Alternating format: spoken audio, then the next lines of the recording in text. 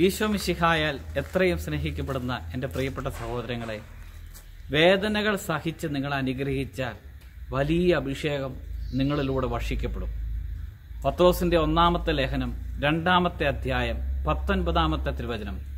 അന്യായമായി പീഡിപ്പിക്കപ്പെടുമ്പോൾ ദൈവചിന്തയോടെ വേദനകൾ ക്ഷമാപൂർവം സഹിച്ചാൽ അത് അനുഗ്രഹത്തിന് കാരണമായിട്ട് തീരും.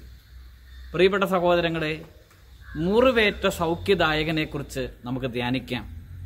മുറിവേറ്റ സൗഖ്യദായകൻ അനേകരുടെ മുറിവുകളെ സൗഖ്യപ്പെടുത്തുന്നുണ്ട്.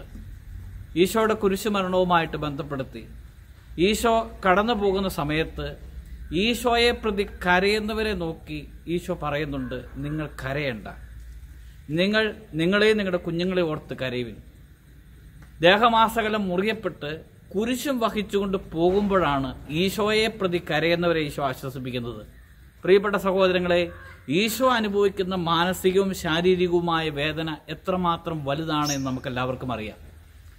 എങ്കിലും തന്നെ പ്രതി കരയുന്നവരോട് പറയുകയാണ് നിങ്ങൾ ഇനി കരയണ്ട.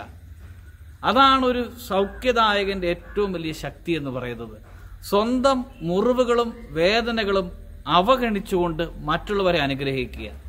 സമാനമായ വിധത്തിൽ ചിന്തിച്ചു നോക്കിയാൽ ഒരുപക്ഷെ വേദനകളിലൂടെയും സഹനങ്ങളിലൂടെയും കടന്നു പോകുന്നവരാണ് നമ്മളെല്ലാവരും. നമ്മുടെ വ്യക്തി ജീവിതത്തിൽ അനേകം മുറിവുകളുണ്ട്. മുറിവുകൾ തന്ന വ്യക്തികളുണ്ട്. നമ്മളെ മുറിപ്പെടുത്തിയവരുണ്ട്. മുറിപ്പെടുത്തിയ അനുഭവങ്ങളുണ്ട്.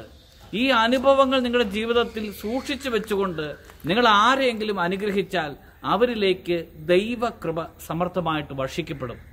അതാണ് കുരിശിന്റെ മുകളിൽ കുരിശിൻ കുരിശിൽ പിടഞ്ഞുകൊണ്ട് ഈശോ മരിക്കുന്നതിന് തൊട്ടു മുമ്പ് ഈശോയുടെ യാചിക്കുന്ന വലതുവശത്തുള്ള കള്ളൻ അവൻ യാചിക്കുന്നത് എന്നെയും കൂടെ ഓർക്കണം. അവസാന മണിക്കൂറിൽ ആ വേദന സഹിച്ച് കർത്താവ് അവനെ അനുഗ്രഹിക്കുമ്പോൾ അവന് സ്വർഗം ലഭിക്കുകയാണ്. സഹോദരങ്ങളെ ഒരുപക്ഷെ നമ്മുടെ കുടുംബത്തിൽ നമ്മെ വേദനിപ്പിക്കുന്നവർ കാണും. ഈ വചന ശുശ്രൂഷയിൽ പങ്കെടുക്കുമ്പോൾ നിങ്ങൾക്ക് വ്യക്തിപരമായ അനേകം മുറിപ്പെടുത്തുന്ന അനുഭവങ്ങൾ ഉണ്ടാകും അതുകൊണ്ട് വചനത്തിൽ പറയുകയാണ് ഒന്ന് പത്തോസ് രണ്ട് ഇരുപത്തിനാല്. അവന്റെ മുറിവിനാൽ നിങ്ങൾ സൗഖ്യമാക്കപ്പെട്ടിരിക്കുന്നു. അവന്റെ മുറിവിനാൽ നിങ്ങൾ സൗഖ്യമാക്കപ്പെട്ടിരിക്കുന്നു. നിങ്ങളൊരു വ്യക്തിയെ നിങ്ങളുടെ വേദനകൾ അവഗണിച്ചുകൊണ്ട് നിങ്ങളുടെ കഴിഞ്ഞ കാലത്തിലെ മുറിവുകൾ അവഗണിച്ചുകൊണ്ട് ആ വ്യക്തിയെ അനുഗ്രഹിച്ച് പ്രാർത്ഥിച്ചാൽ ആ വ്യക്തിയോട് കരുണ കാണിച്ചാൽ പ്രിയപ്പെട്ട സഹോദരങ്ങളെ സ്വർഗസ്ഥനായ പിതാവിന്റെ കരുണയിൽ പങ്കുചേരുകയാണ്. അതാണ് ലൂക്കായുടെ സുവിശേഷം ആറാം അധ്യായം മുപ്പത്തി ആറാമത്തെ തിരുവചനം.